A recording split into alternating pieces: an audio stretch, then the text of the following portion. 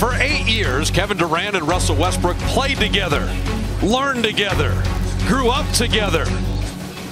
Their path culminated in an epic Game 7 loss to the Warriors in the Western Conference Finals. They now reside on separate sides of the battlefield. There will always be respect between them, but that doesn't mean their face-offs will have any less ferocity. Round one back in November went in the Warriors' favor as KD brought the Thunder down in OKC. It may only be January, but all the participants in this matchup recognize there is nothing regular about it. It's time for round two.